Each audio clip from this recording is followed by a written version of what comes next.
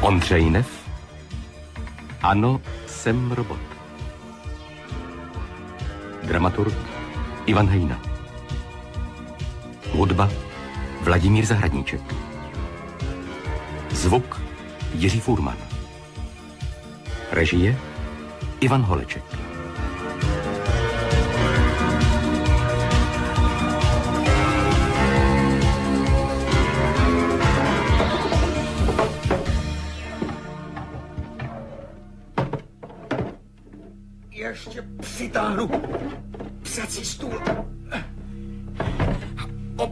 Opřu ho o dveře. A teď už se do studia nedostane nikdo. Já, promiňte, nevšiml jsem si, že magnetofon už běží. Dovolte, abych se představil. Hovoří Petr Adlen, zpravodaj agentury Zprávy dne. Jsem v podzemí komunikačního střediska v sídlišti Arkádie přivrácená strana měsíce. Je 26. června roku 2032. Ukryl jsem se tady, abych podal svědectví o případu, který se udál na osmé translunární dálnici nedaleko kráteru Collins před 14 dny v raných hodinách 12. června a o všech dalších událostech, které se děly potom. Vím, že lidé generála Kiliana se mohou pokusit ještě v poslední chvíli překazit můj záměr – Možná, že se pokusí mě i zabít. Nebyl bych první, kdo ztratil život v souvislosti s událostmi u kráteru Collins. Schromáždil jsem všechny poznámky a dokumenty, zejména zvukové záznamy. Jsou to poslední doklady toho, co se vlastně onoho osudného pondělka stalo. Všechny ostatní dokumenty jsou zničeny. Jakmile položíte ústřední databance otázku, odpoví vám takto. Co se stalo v pondělí 12. června tohoto roku na 8. translunární v časných ranních hodinách? Lituji, v bance nejsou žádné záznamy. Jaké máte záznamy o řidiči jménem Ibn Khalid? Khalid Ibn, narozen v Káhyře 6. února 1989. Toho času žije na měsíci sídliště Lunagrad další údaje kryty zákonem o ochraně osobnosti. Měl v poslední době nějakou nehodu? Lituji, v bance nejsou žádné záznamy. Díky, končím. Dokonale zametené stopy, vidíte? Jenže já jsem tenkrát na osmé translunární byl a snad jako jediný na světě jsem si zaznamenal tehdejší zpravodajství. Zde je záznam první zprávy o událostech u kráteru Collins. Pondělí ráno 12. června.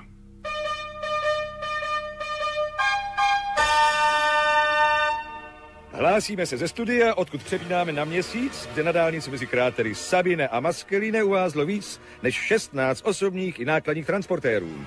Přepíná na naší mobilní jednotku na 8. translunární, kde by se měl ozvat Petr Adlen. Slyšíš mě, Petře? Slyším dobře. Děkuji kolegovi z centra za udělení slova. Už jste slyšeli, že se pohybujeme po osmé translunární dálnici. Teď, jak vidíte na monitorech, jsme zastavili na dobro. Vepředu se míhají nějaká světla. Jdu blíž. Velice rádi si popovídáme s příslušníky dálniční služby o příčinách zdržení. A už tu máme dva z nich. Dál nesmíte, pane. Agentura zprávy dne. Tady je moje pověření. Dál nesmíte, pane. Umíte říct ještě něco jiného než dál nesmíte, pane? Ano, pane. To snad není možné. Slyšíte dobře, vážení přátelé. Tak předveďte, co ještě umíte. Vraťte se, pane. Teď už je to jasné. Přede mnou nestojí příslušník dálniční služby, ale stará vykopávka, robot z ozbrojených jednotek generála Kiliana. Je to pravda? Ano, jsem robot. Číslo. Lituji, ale nejste oprávněn, pane. Chci hovořit s vaším nadřízeným. Lituji, ale nejste oprávněn, To pane. je něco neslíchaného. Víte, víš, s kým hovoříš? Vaše pověření je vystaveno na jméno Petr Adlen. Jste Spravodaj agentury zprávy dne. A ah, vidá, tady přichází další vykopávka. Taky umíš hrát jenom jednu písničku pořád dokola? Hovoříte ke mně? A radím vám, abyste byl zdvořilejší. A ah, vy jste tedy člověk. Jistě, co jste si myslel? Upozorňuji vás, že náš rozhovor se přináší v přímém přenosu do celolunární spravodajské sítě mm-hmm. a že mimořádně zábav pasáže se dostanou i do ústřední sítě. Tam se vás tedy oficiálně a velmi zdvořilé. Co se stalo? Přesně nevíme. Zdá se, že u kráteru Collins došlo k výbuchu. Doprava je přerušena. A vy, místo abyste pátral po senzacích, byste měl posluchače upozornit, aby se vyhnuli osmičce a zvolili raději trojku nebo šestadvacítku. Děkuji za radu, ale už se stalo. Co dalšího nám povíte? Bez komentáře.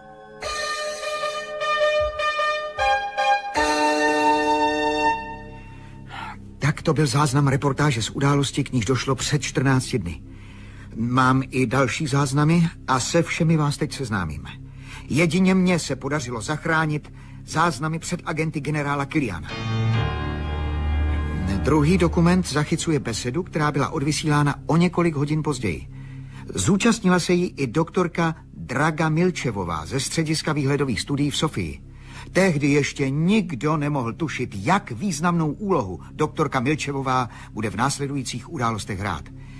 Tak tedy dokument číslo dvě. Večer 12. června.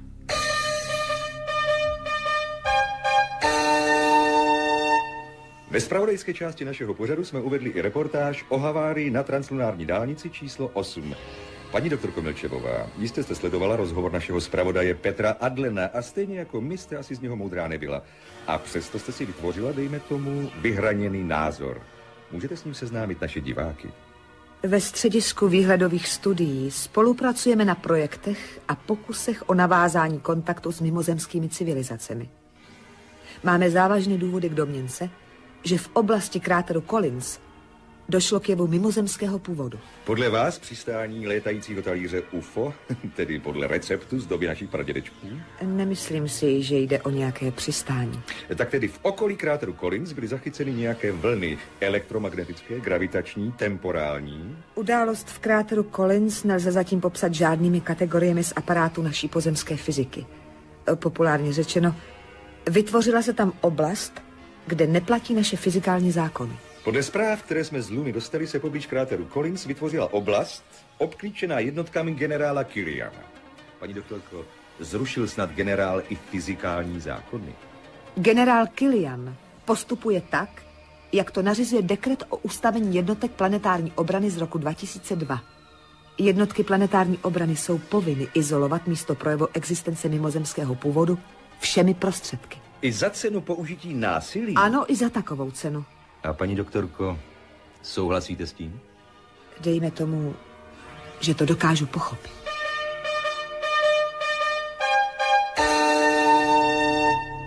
Dokument, který jste právě slyšeli, je mimořádně důležitý. Poprvé se v něm objevila zmínka o údajných mimozemšťanech. Ne, nikdy jsem nepodezíral Dragu Milčevovou ze spoluviny na spiknutí s osnovaným generálem Krianem. Jenom nevědomky hrála roli, kterou jí předepsali lidé ukrytí za kulisami. Beseda už tehdy vzbudila moje podezření a proto jsem se rozhodl zaútočit na generála Kiliana přímo. Už 13. června ráno jsem ho požádal o rozhovor. Předpokládal jsem, že odmítne, ale překvapil mě. Poslechněte si dokument číslo 3 ze 13. června. Jste generál poručík Stavro Kilian, velitel jednotek planetární obrany, osmý velitel v 30 leté historii této poslední armády lidských dějin. Prosím. Pane generále, víte o tom, že patřičné výbory Organizace spojených národů uzavřeli svoji práci a že při příštím hlasování se bude rozhodovat o zrušení jednotek planetární obrany? Ovšem. Víte taky o tom, že všech sedm nezávisle na sobě pracujících výborů navrhuje zrušení? Vím. Jistě je vám znám hlavní důvod. Jistě. Nebuďte skoupí na slovo a vyjádřete ho. Prosím. Doposud se nepodařilo prokázat existenci mimozemských civilizací a výbory dospěly k závěru, že vydržování jednotek planetární obrany je zbytečné. Ano. A myslíte si, že události v kráteru Collins ovlivní hlasování Organizace spojených národů? Zcela určitě. V kráteru Collins došlo k jevu mimozemského původu. Aha.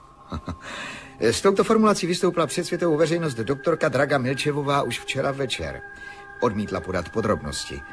Vy snad budete ochotnější.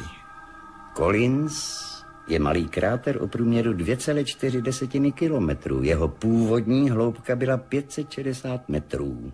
Při stavbě osmé translunární byl částečně zasypán. Na jeho jižním okraji přilehlém k dálnici vznikla jakási oblast o průměru 720 metrů. Přesný okamžik vzniku této oblasti není znám, stalo se to někdy mezi čtvrtou a pátou ranní standardního času. V tu dobu tudy projížděl kamion Združení Měsíční Express. Jeho řidič je jediný svědek toho, co se uvnitř této oblasti děje. Asi vás bude zajímat jeho výpověď. Proto jsem přinesl záznam. Samozřejmě. Prosím o přehrávku. Prosím o stručná fakta. Nejdřív jméno, věk, zaměstnání a pak popis události. Ibn Khalid, 43 let. Dělám pro měsíční expres řidiče už šestý rok. Po osmý translunární jezdím minimálně dvakrát, třikrát týdně. U Kolince dávám bacha, protože tam je kontrolní bod, chápete? Takže jsem tam věl. Pro pořádek dodejte časový údaj. No dneska, teda jako 12. června, 32, když už chcete pořádek. Bylo asi tak půl pátý standardního. Rychlost přesně 40 podle předpisu, chápete? No a já tam věl a najednou jsem stál na místě. Narazil jste na něco? Ne, jel jsem a najednou jsem nejel. Stál jsem, no. Vaše vozidlo se tedy zastavilo. No, teď to říkám. S jakou brzdou dráhou? Žádnou na fleku. Jako kdyby narazilo do zdi. Tak náhlé zastavení by mělo vážné následky pro vaši osobu. Mně se ale nestalo nic. Já vím, co myslíte, že by mě to jako mělo hodit dopředu jako při bouračce, jenže ono se nestalo dočista nic. Ani v žaludku mi to nehouplo. A vedle na sedadle jsem měl termosku s kafem. Ani se nepohnula. Jo a Hasanovi botičky, co mám vyset na větráku, se ani nezakejvaly. Nic. Prostě jsem stál. Nemohlo se to stát jinak? E, Třeba jste ztratil při zastavování vědomí a probral jste se až po chvilce. Tak zrovna tohle mě taky napadlo. Já teda vylez a díval jsem se po brzdných stopách. Ona takhle z rána je vozovka plná prachu, co ho ještě večer zvířili v opozdilci. No a pak je klídek a prach celý hodiny klesá. Já jel zřejmě první, protože vrstva byla tlustá, no dobře centimetr. Za mnou byly normální koleje od kol, obtisknutý vzorek, pak kolo a před kolem zase jen ten prach, nic víc. E, Dobrá, dobrá, dobrá. E, Co bylo dál? Já teda chodil kolem mašiny, oblížel ty stopy a najednou... Najednou se z kol začaly vyšroubovávat matky. Jedna po druhé? Ne, všechny najednou, ve stejném tempu. Tak jsem přišel blíž a vidím, že se vyšroubovávají matky a šrouby docela všude. Prostě ten auták se sám od sebe začal rozmontovávat. Nebyla to vidina? No ne, mě hned napadlo, aby se mi tak začala šroubovat palice od panáka, tedy přilba z kafandru a, a to už jsem slyšel cvaknout pojistku. Tak jsem se chytil za tu palici, za tu přilbu, v obouma rukama a to byla strašná síla. Já to nedokázal udržet a že nejsem slabota. Začal jsem křičet a, a, a ono to přestalo. I matice na kole? Ty ne, jenom palice od panáka. A na voze to pokračovalo a já tam stál a porád jsem křičel strachem a najednou vám se to auto rozpadlo, chápete? Úplně na součástky. Začal z toho tý zvolej a ve tmě zajiskřili dráty a mě napadlo, teď to bouchne. Tak jsem se rozběh a pádil pryč po silnici, po svých vlastních stopách, ani nevím jak dlouho. A pak najednou světla, zastavili kluci od dopravky a, a co prej je, tak jim to povídám. Oni se mě ptali, proč si držím palici, no a vzali mě dovnitř a společně jsme vyrazili ke Kolinsu. Já nechtěl, ale oni že prej jo. A co bylo dál? No nic, vůbec nic jsme neviděli. Já povídám, teď to muselo být tamhle u hlásky, tu jsme viděli jasně a, a já se rozpomněl, že jsem mi taky viděl jasně bočním oknem, když mě to zastavilo. No a ten četař za pultem povídá, jedem dál, no a, a taky ho to zastavilo na místě. Ona je tam nějaká neviditelná zeď, nebo co? To je všechno. Jestli to je všechno? Mhm. A co byste ještě chtěl? Gina z Aladinovy lampy, nebo co? Děkuji za přehrávku, generále Kiliane. Připomínka pro ty, kdo nesledovali naši spravodajskou relaci od začátku. Velitel jednotek planetární obrany, generál poručík Stavros Kilian, zde právě reprodukoval záznam výslechu jediného svědka údajného případu v kráteru Collins. Tak dost, mladíku, takový tón si vyprošuji. Případ není údajný, nýbrž... Mohu se vrátit k věci, pane generále? Prosím. Tak tedy 26. června bude generální schromáždění Organizace spojených národů hlasovat o další existenci poslední armády na světě, to je té, které velíte vy. Za 30 let existence jednotek planetární obrany vaši muži nepoznali jiný poplach než cvičný.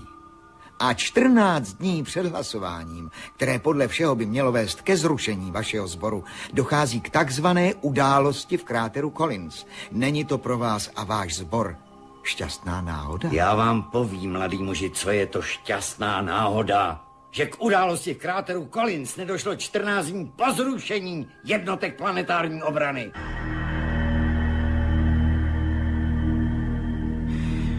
Tak tohle byl můj první novinářský rozhovor s generálem Kilianem. Valné schromáždění Organizace spojených národů bude o osudu Kilianových jednotek hlasovat za několik hodin. Věřím, že moje svědectví bude mít svoji váhu a že ovlivní výsledek hlasování. Podařilo se mi totiž získat zvukovou nahrávku z porady Kilianova štábu. K níž došlo také 13. června.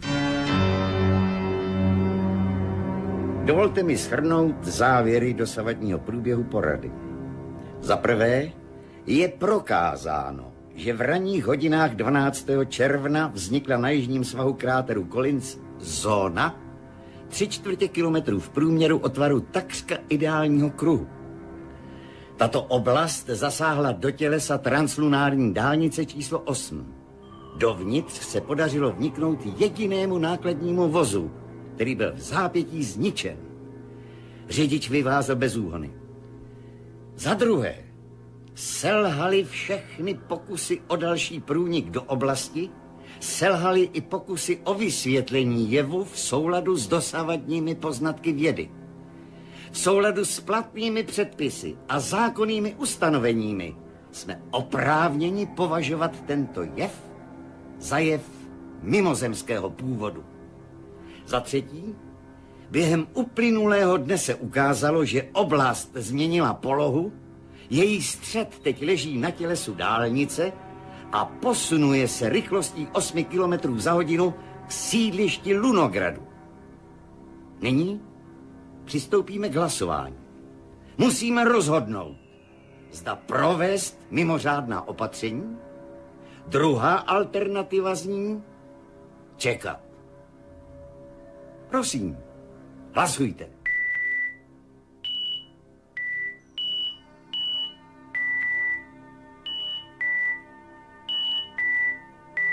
Hlasy jsou odevzdány, generále Kiliáne. Dobře, plukovníku, seznamte nás s výsledkem. Osm hlasů pro mimořádná opatření, pět navrhuje čekat. Dobrá, štáb se rozhodl pro mimořádná opatření. Návrhy? Operační oddělení v průběhu minulého dne a noci zvážilo možnosti, generále. Blokáda je nemožná. Palebný přepad příliš riskantní. Navrhujeme proto použití posledního exempláře univerzálního robota typu Arnal. Je k dispozici? Ano. Jakmile jsme začali uvažovat o jeho nasazení, dopravili jsme ho ze záložního skladu v Kolombu na Sri Lance k nám na základnu. Připomeňte štábu takticko-technická data. Arnal, univerzální robot vybavený umělou inteligencí 6. stupně pro potřeby armády, námořnictva a letectva. Zdroj energie, reaktor studené fúze, hlavní zbraňové systémy, emitory vysokoenergetického záření. Neexistuje terén, ve kterém by Arnal nemohl být nasazen. Ultrakrystalický kov, z něhož je vyroben, odolává tlaku v největších mořských hloubkách stejně dobře jako ničivým vlivům vzduchoprázdna. Je nezávislý na teplotních režimech v pásmu minus 250 do 3000 stupňů Celsia. To stačí, myslím. Připomínám, že je to poslední exemplář svého druhu a že ještě nikdy nebyl aktivován od posledních zkoušek ve výrobním závodě. Máme možnost ho řídit? V jistých mezích, generále. Co znamená v jistých mezích? Umělá inteligence 6. stupně je ve spojení se světovou informační sítí. Rozhoduje na základě posouzení zájmů celého lidstva. Když tedy Arnal dostane rozkaz, který podle jeho vlastního názoru odporuje zájmům lidstva, neuposlechne? Přesně tak, generále Kiliáne. Proto o jeho nasazení musíte rozhodnout jenom vy. A na vás leží zodpovědnost. Vidíte jinou možnost? Nevidím. Tak ty. Rozhodl jsem se a proto nařizuji nasadit bojový prostředek Arnal. Tak taková je celá pravda. Generál Kilian nastrojil celou tu údajnou příhodu u kráteru Collins, aby mohl opodstatnit svoji armádu, která je, zdůrazňuji, naprosto zbytečná a jenom ujídá lidstvu ze společného krajice. Věřím, že vy všichni lidé dobré vůle, kteří mě slyšíte, se zasadíte o důkladné vyšetření všech faktů. Je třeba zjistit, co se vlastně stalo na osmé translunární toho osudného pondělka před 14 dny. Nepochybuji o tom, že vojáci generála Kiliana tam nasadili nějakou doposud tajnou zbraň na principu silového pole. Proto přikračuji k druhé části své obžaloby. Uslyšíte záznam mého telefonického rozhovoru s doktorkou Milčevovou ze 14. června. Byl jste skvělý. Děkuju, ale já... Vy nevěříte, že na měsíci došlo k oné události u kráteru Collins. Vidíte? No, upřímně A vy si řečeno... myslíte, že táhnu s Kiliánem za jeden pro vás? Že podporuji tu báchorku? Aby generální schromáždění nezrušilo 26. tu jeho slavnou armádu, která je pro kočku a jen užírá společné prostředky. Vidíte? Ano, myslím si to. Vůbec se na vás za to nezlobím. Ale jedno vám povím. Generál si onu událost nevymyslel. Jak to? Ano, hodí se mu do krámu přenáravně. Ale všiml jste si, že generál toho nezneužívá ke své slávě a ke slávě sboru? Kdyby šlo o propagační trik, Adlene, choval by se jinak, nemyslíte? Roztruboval by do všech stran. Podívejte se, co se děje na měsíci. To je útok z vesmíru. Jenže já a moje armáda tu stojíme na stráži. Ale on tohle nedělá. Zavřel se do bunkru na své základně, jeho lidé obklíčili oblast, postupují s ní k Lunagradu. Mimochodem, to víte, že se oblast blíží k Lunagradu? To se Kilianovi lidé blíží k Lunagradu. Jste tvrdohlaví jako osel. Ta oblast je reálná věc. Skutečně na okraji Kolincu vznikla. Několik hodin byla nehybná, ale pak se pohnula a sleduje osu dálnice. Generál není všemocný. Nemůže vodit za nos celé lidstvo. Na osmou translunární se soustředila pozornost všech specializovaných pracovišť. Už teď vám můžu předvést výzkumné zprávy o tom, co se uvnitř onoho místa děje se světlem, s magnetickým polem, se strukturou hmoty. My to neumíme vysvětlit, ale popsat to ano, to dovedeme. Proč mi tedy voláte? Vojáci se rozhodli, že do oblasti nasadí nejsilnější zbraň, která kdy byla vyrobena. Ta potvora se jmenuje Arnal. Arnal? Arnal, protože ji vyrobili pro potřeby armády, námořnictva a letectva. Tak. Umělá inteligence šestého stupně. Dovede to chodit po mořském dnu, létat, vrtat se do země. Všechno, co vás napadne. Jakmile se Arnal dostane do oné oblasti, Co se stane? co pak to někdo může předvídat? Umělá inteligence šestého stupně má právo se sama rozhodovat v souladu se zájmy lidstva. Jenže co jsou to zájmy lidstva? Člověče Adlené. To byl důvod, proč všechny ty roboty typu Arnal rozmontovali a jen pro případ krajní nouze nechali ležet ve skladu na Sri Lance poslední kousek. A teď ho chce generál nasadit do akce. A co tedy ode mne chcete? Adlene, musíte Kiliánovi zabránit v tom obrovitánském oství. Ale jak? Musíte sdělit všem lidem na celém světě, po celé soustavě, co se chystá. Proč mlčíte? Máte důkazy, že chce Arnala nasadit? Nevěříte mi.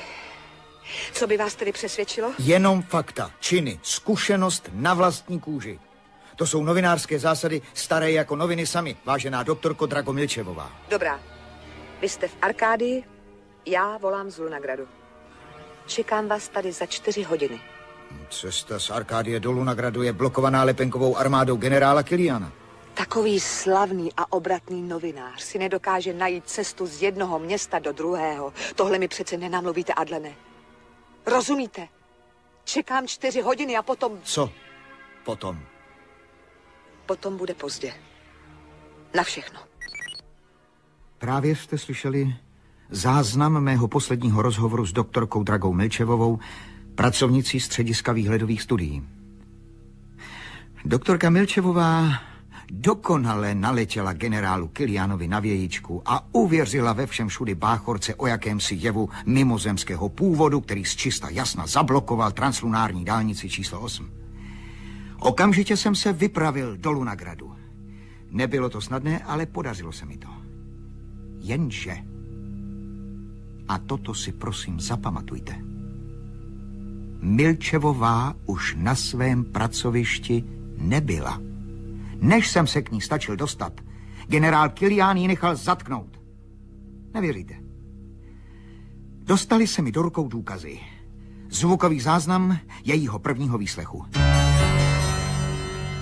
Generále, hlídka přivedla tu ženu. A jde dál. Generál Kilian, Vítám vás, doktorko Milčevová. jakým právem jste mě nechal zatknout? Okamžitě mě propustte. Zatknout? O čem to mluvíte, doktorko? Vaši muži mě hrubě přepadli na mém pracovišti. Protestovala jsem, ale oni mě vyvlekli násilím a dovezli sem, na tu vaši základnu. Poněkud přehnali služební horlivost. Dal jsem jim příkaz, aby vás pozvali k návštěvě. Vyložili si to po své. Nejsem tedy zatčená. Samozřejmě, že ne. Mohu tedy odejít. Jistě, ale Tedy nashledanou, nebo lépe řečeno. ne. S ne, Bohem. Nedělejte to, stůjte, já... Já vás prosím, Dostal jste strach? potřebuji, abyste nám pomohla. Já vám pomůžu ledat do vězení, generále. Dozvěděla jsem se, že jste nechal na měsíc dopravit vojenského robota systému Arnal. V tuhle chvíli se na mé pracoviště dostavil jistý novinář. Postarala jsem se, aby se mu dokumenty dostali do rukou. No všem, lidi od tisku, čert je vem. Máte pravdu. Jde o Arnala. Tak tedy přece. Máte ho tady? Na základně? Měli jsme ho tu. Naši technici ho sem dopravili a připravovali k nasazení. Po provozních zkouškách ve výrobním závodě byl vypnutý, ležel nakonzervovaný ve skladišti. Je to snad nejsložitější stroj, jaký kdy byl vyroben. Takového robota nezapnete stisknutím jednoho tlačítka. Aktivační program trvá 22 hodin, má 16 fází. My jsme se dostali do poloviny druhé fáze. Co to znamená? V první fázi se zapíná energetický zdroj. V druhé fázi aktivujeme základní obvody nutné pro pohyb stroje. Na konci druhé fáze je Arnal asi takový inteligentní stroj jako rypadlo nebo jeřáb na kosmodromu, úplný primitiv. No, pokračujte, prosím. Do konce druhé fáze zbývalo šest operací, když najednou Arnal jakoby ožil. Vstal a vykročil k vratům hangáru. Vy asi víte, že Arnal se podobá člověku. Slyšela jsem o tom. A dál? Pokusili jsme se ho zadržet, ale všechny snahy byly marné. Došlo k nějakému zranění? Nezabil nikoho? Ne. Choval se velice ohleduplně. S lidmi, kteří na něho útočili, zacházel jako s porcelánovými figurkami. Pokoušeli se ho zastavit všemi prostředky, někdy i velmi drsnými. On klidně odrážel všechny útoky, střely od něho odskakovaly a když se nějaký odvážlivec dostal do jeho blízkosti, Arnal se ho zmocnil, odzbrojil ho a zase propustil. To znamená, že pracovali i jeho vyšší obvody. Jenom umělá inteligence dovede rozeznávat mravní důsledky chování. A cítí odpovědnost. Přesně tak. Stalo se něco, co je z technického hlediska naprosto vyloučené. Arnal aktivoval sám sebe, anebo robota něco aktivovalo. Zóna? Jsem o tom přesvědčený. Jak asi víte, zóna se pohybuje rychlostí 8 km za hodinu k Lunagradu. Arnal jí jde naproti. Setkají se zítra, to znamená asi v 8 hodin ráno 15. června. Generále, vy jste chtěl nasadit Arnela proti zóně? Protože je to nejsilnější zbraň, jakou máte. A zóna si naši nejsilnější zbraň přivlastnila. Dovedete si představit, co se může stát. Co když zóna obrátí Arnala proti lidem?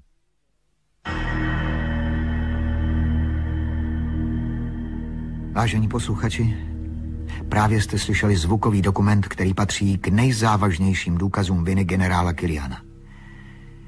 Opakuji pro ty, kdo přišli k plastivizním přijímačům později a neslyšeli začátek mé relace. Jmenuji se Petr Adlen a pracuji jako reportér agentury Zprávy dne. Právě dnes, 26. června roku 2032, má valné schromáždění Organizace spojených národů hlasovat o zrušení, případně o prodloužení existence jednotek planetární obrany.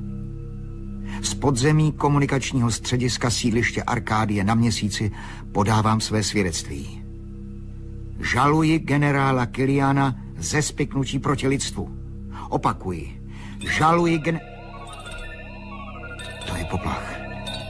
Někdo nepovolaný pronikl do budovy. Vážení posluchači, moje situace se značně zhoršila. V tuto chvíli, kdy mluvím do mikrofonu, nejsem ještě připojen na vysílací okruh. Hovořím jenom do záznamu, podávám svědectví a připojuji k němu dokumenty. Čekám na připojení. Doufám, že moji přátelé nepřijdou pozdě. To poplašné houkání, vážení posluchači, mě varuje. Přicházejí vojáci generála Kiliana, i to je důkaz proti němu. Znovu zneužil svého postavení. Nejdříve nechal zatknout doktorku Milčevovou. Teď jsem na řadě já. Musím spěchat. Tady je další záznam.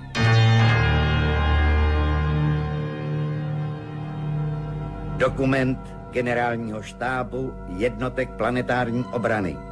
Hlášení podává vrchní velitel generál Kilian.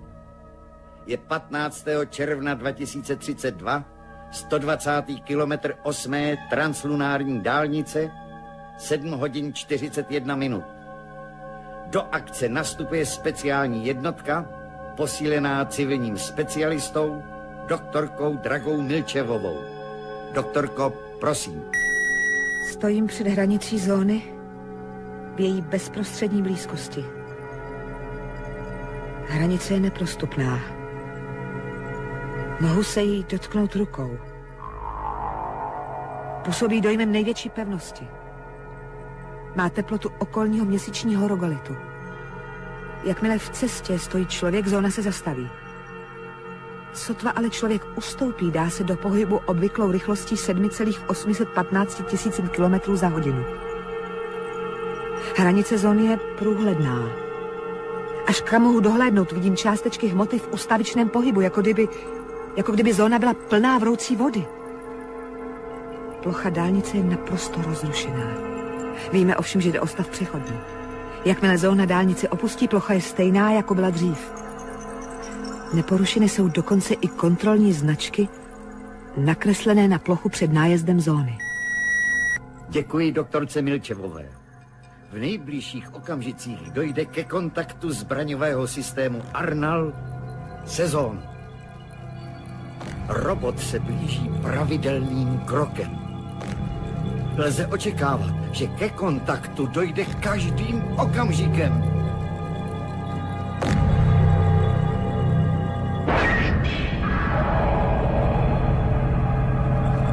Přístroje naměřily energii srovnatelnou s výbuchem jaderné nálože střední třídy, generále.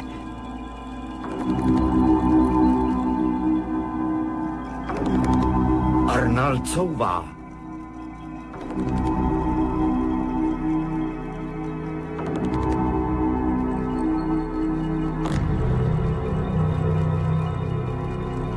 A znovu vyráží kupředu.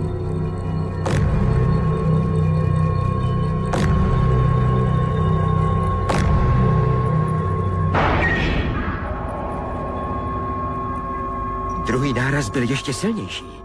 Generále, hrozí nebezpečí, že třetím nejvýš čtvrtým nárazem se poruší struktura Arnalova těla a dojde k výbuchu reaktoru. Tomu nelze zabránit. Arnal je neovladatelný. Nevnímá naše příkazy.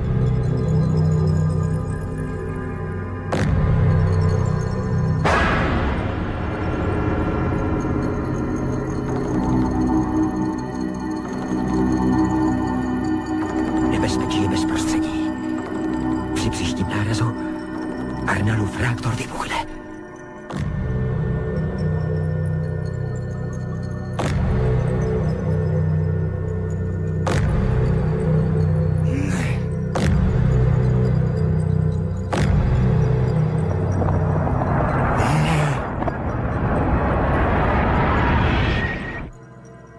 Pokračují v záznamu. V 52. minutě, 13. vteřině, civilní specialista doktorka Draga Milčevová se pokusila vlastním tělem zastavit útočícího robota typu Arnala. Dostala se mezi těleso robota a doposud neprostupnou hranici zóny. Nárazem ale nebyla roztrcena. Zóna se náhle uvolnila a oba dva, robot i člověk, pronikli dovnitř. Generále, uvnitř zóny stoupá hladina světla. Vypadá to, jako by se tam rozsvítily stovky reflektorů. Částečky hmoty víří závratnou rychlostí.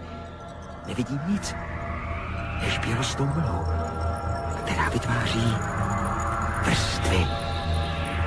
Pozorujeme pohyb. Převažuje doleva.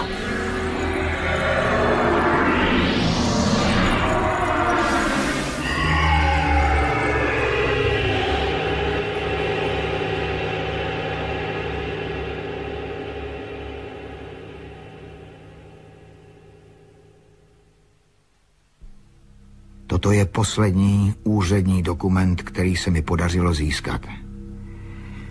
Vyplývají z něho jednoznačné závěry. Generál Kilian zosnoval událost v kráteru Collins, aby odvrátil zrušení své armády tím, že ovlivní dnešní hlasování valného schromáždění Organizace spojených národů. Aby dodal své akci váhu, dopravil na měsíc poslední válečný stroj, kterým lidstvo vládne – univerzálního robota systému Arnal. Při pokusu s Arnalem doktorka Draga Milčevová přišla o život. V tuto chvíli si generál uvědomil, že zašel příliš daleko a zahájil další fázi operace. Zahlazování stop. Až dojde k přelíčení proti Kilianovi. Prosím, aby jako hlavní svědek obžaloby byl předvolán můj spolupracovník Marek Zachar. O jeho úloze v celém tom případu svědčí následující zvukový dokument, který jsem natočil ve svém bytě.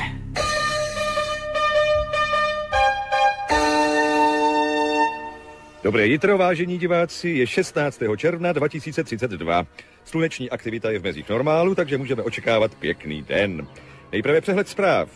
Pokusy o záchranu havarovaného tahače Tantalus pokračují. Ekonomický výbor Organizace spojených národů se vyslovil pro zrušení jednotek planetární obrany.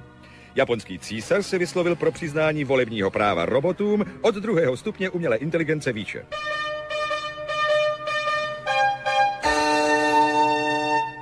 A zprávy z měsíce veškeré žádné.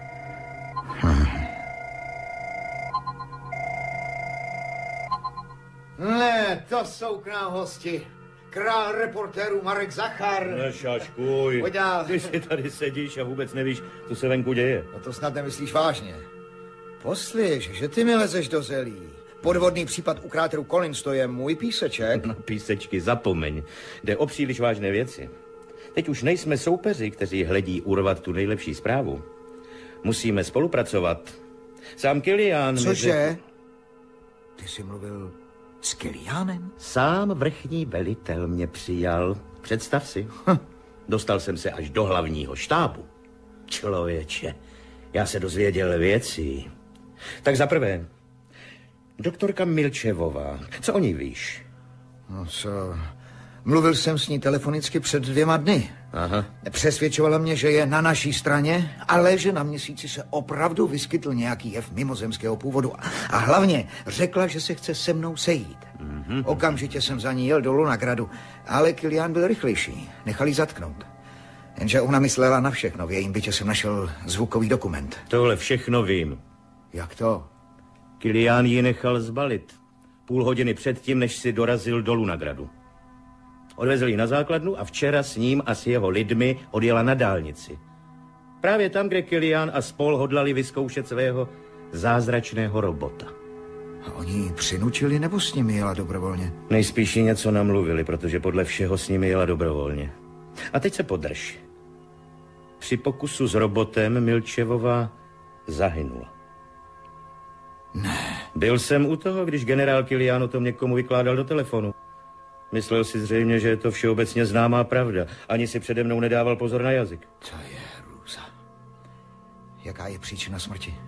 Vypadá to, jako kdyby tělo Milčevové zmizelo.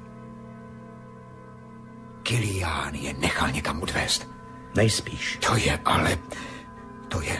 To je přece zločin, Marku, to je vražda. Neříkám, že ne. Tak a teď pěkně generála zmáčkne. Teď ho máme na talíři. Uklidni se, uklidni se. Vyskakovat začni, až ti povím tu poslední novinu. Zóna zmizela. Cože? Hm? Translunární dálnice číslo 8 je volná.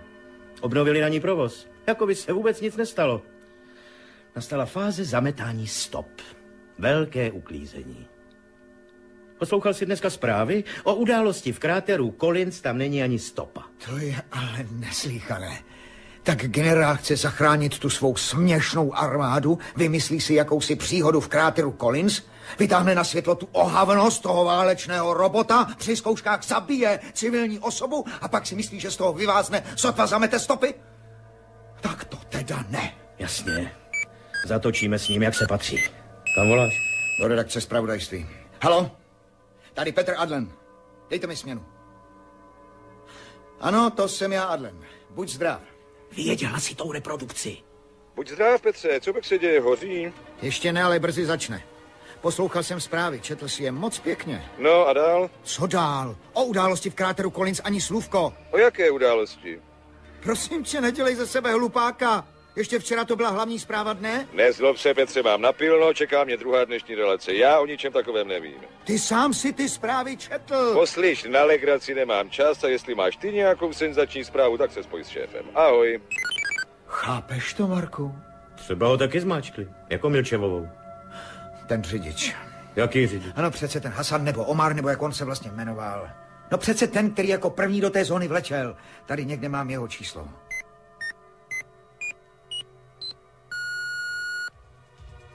Khalid, slyšíš? Tady Petr Adlen, agentura zprávy dne. Jak slyším, sedíte za ovládacím pultem? Jo, 62. pane reportér. Ticho už leze nad obzor, ještě hodinu a sedím u kafe. Dělám takový malý průzkum. Aha. Můžete mi říct, kudy jste jel 12. června ráno? A to jistě, šéfe. To bylo na osmičce, hasil jsem si to z Arkádie dolů na gradu. Byl jsem na čtvrtce první. To je výhoda, ještě se nevíří prach. Přede mnou šedivá dálnice, za mnou koleje od pneumatik. Tak to mám rád. jsem ranní pták, víme. Měl jste cestou nějakou nehodu? Nehodu? Ne, to jsem neměl. Poblíž kráteru Collins. Collins. A tam si dávám bacha, tam bývá kontrola. Vždycky čtyřicítkou, přesně podle předpisů. Já jezdím pro měsíční Už expres. šestý a- rok, já vím. Jak to můžete vědět? Vědět to je moje povolání. Děkuju. Vědět to je tvoje povolání, moc hezky řečeno, ale teď to nebylo od srdce, viď? Ať to se mnou praští, jestli jsem z toho moudrej. Já si myslím... Mysli ti znamená starou belu věděti. Dejme nejdřív dohromady fakta. Jedno po druhém. Dobře. Tak nejdřív se na osmé translunární dálnici objevil... Záhadný prostor, ve kterém se nákladní vozy rozpadají na kousky. A doktorka Milčevová si myslí, že ten prostor je mimozemského původu. V zápětí generál Kilián mobilizuje svou armádu a povolává do služby vojenského robota systému Arnal. který se vymkne z rukou svým pánům, dělá, co je mu libo a při pokusu doktorka Milčevová zahynula. A hned potom mizí všechny zprávy o téhle události z paměti počítačů. I z paměti lidí. Petře, tohle je spiknutí. Nepochybuju o tom od samého počátku. Dávej pozor, co ti povím. My se teď rozejdeme a budeme schromažďovat důkazy. A v den hlasování valného schromáždění Organizace spojených národů je zveřejníme.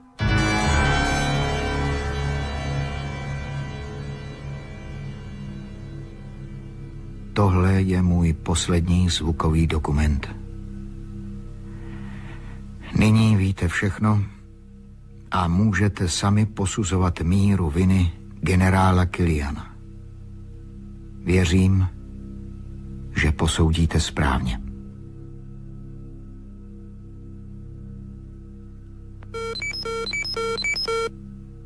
Slyším. To jsi ty, Marku? Ahoj, Petře. Sláva, to se mi ulevilo. Tak co, připravil si linku? Záznam mám hotový. Teď už mi stačí jedna jediná linka. Vstoupím do vysílání a generál Kilián je vyřízený. Petře, o čem to mluvíš? No přeci o podvodu u kráteru Collins. Mimozemšťané, doktorka Milčevová. Já vůbec nevím, o čem to mluvíš. Jak to? Vždyť ty sám si mi pomáhal schromažďovat důkazy. A jaké důkazy? No- Ne, nic mi nevysvětluj. Nemám moc času. Někdo s tebou chce mluvit. Marku! Slyšíte mne, Adlene?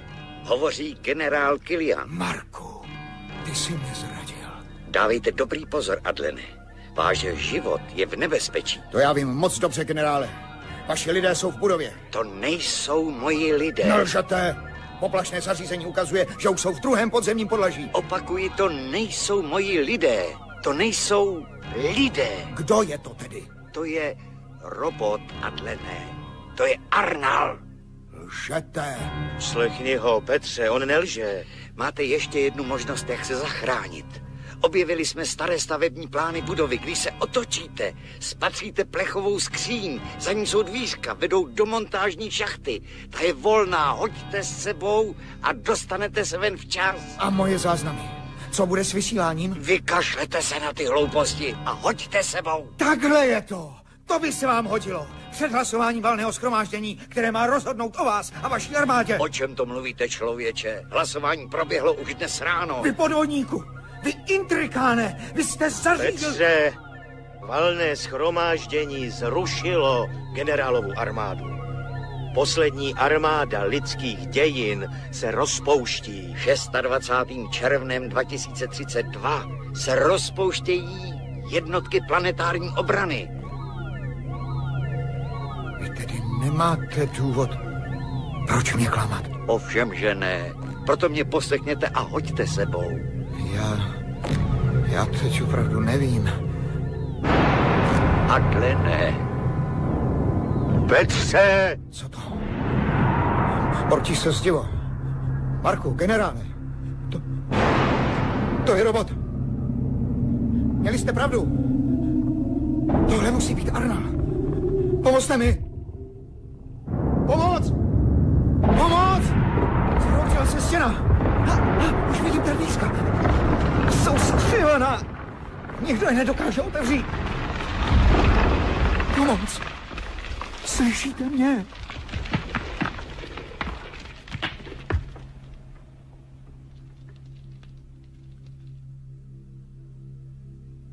Neslyší vás, pane. Spojení je přerušeno. Ty jsi... Arnal. Jsi robot. Ano, jsem robot. Přišel si mě zabít. Ale proč? Mílíte se, pane. Neusiluji o váš život. Co tedy chceš? Dokumenty, záznamy. Nemáš na ně právo, robote. Jsou moje. Znovu se mílíte, pane. Já, já a Marek. Marek a já jsme je schromáždili. Ale jenom proto, že jsem vám to dovolil. Tak počkat. Ty jsi robot. Ano, jsem robot. Musíš mě tady poslouchat. Do jisté míry, pane. Má inteligence dosahuje šestého stupně. To mne opravňuje jednat ve prospěch lidstva. Nejenom jednotlivce. Informování veřejnosti, to je činnost lidstvu prospěšná. Nemýlím-li se. Jistě máte pravdu, pane. Dobře, tady jsou moje záznamy.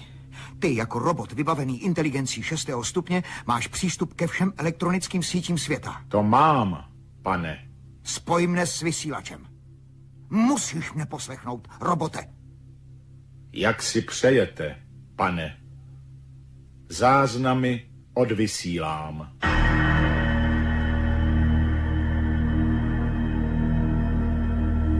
Vysíláme. Přesvědčte se, pane. Ještě přitáhnu psací stůl.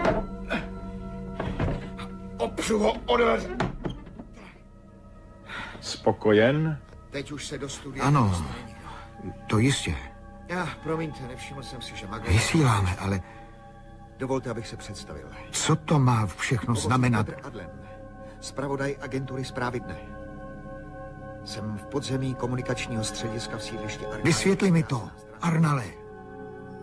Je 26. června roku 2032. Petře Adlene, teď k tobě už nehovoří jenom vojenský robot Arnal.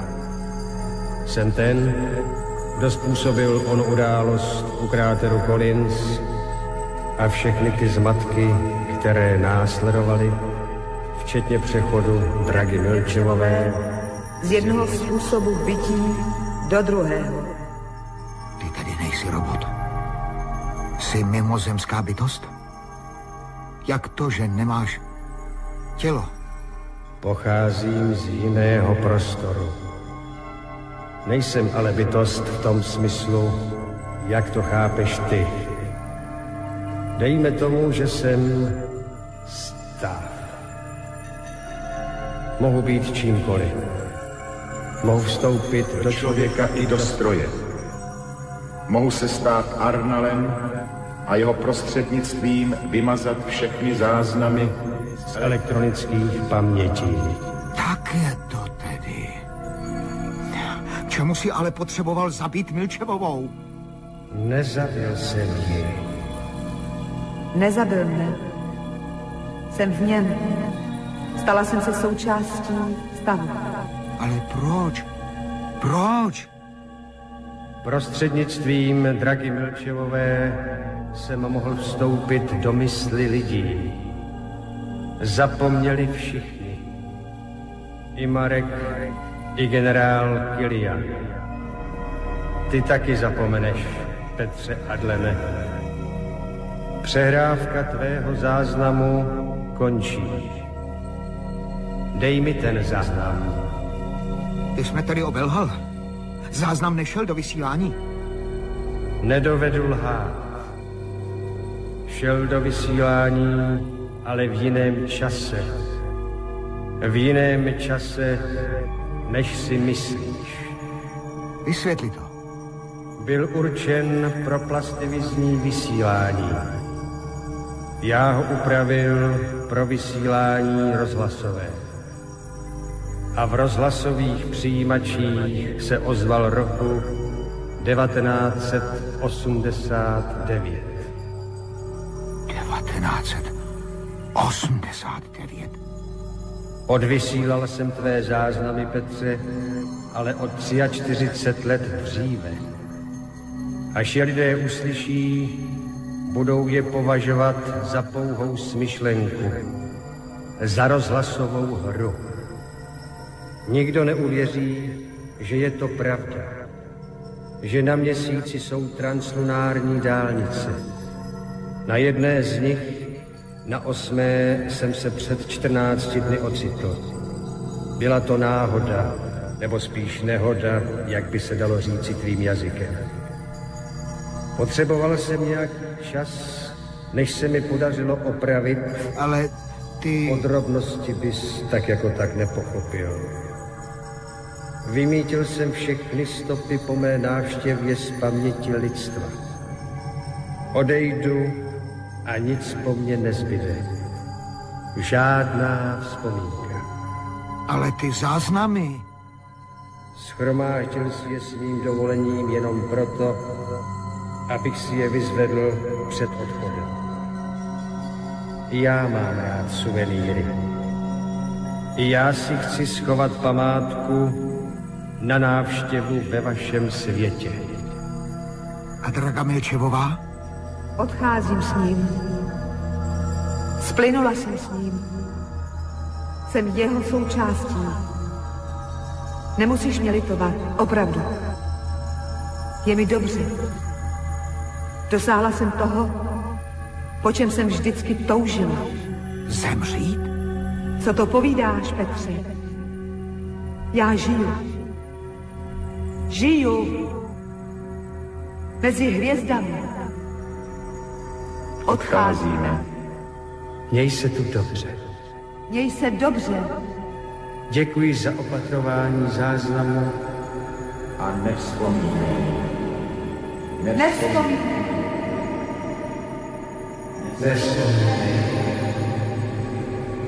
Nevzpomínej.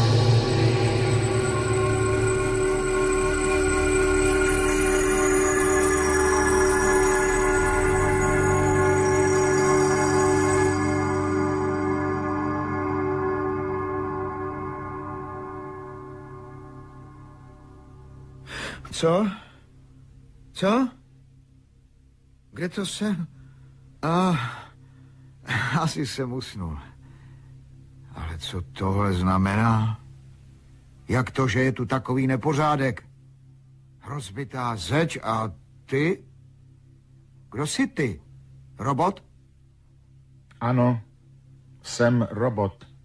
Tak na co čekáš? Rychle to tu ukliď. Robote. Ano, pane.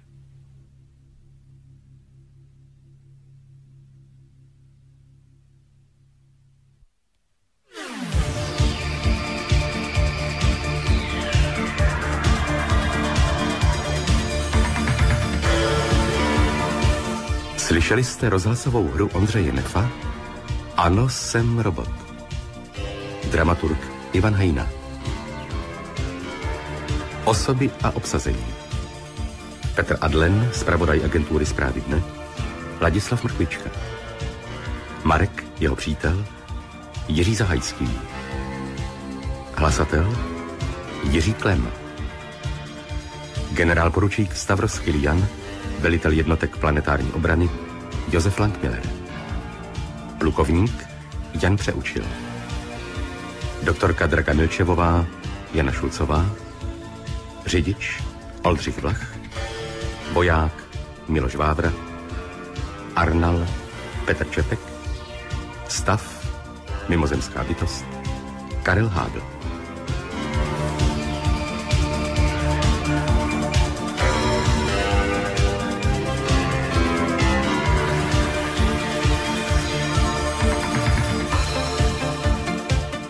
Spolupracovali Dana Rajchová a Pavel Petřík. Zvuková koláž Radislav Nikodem.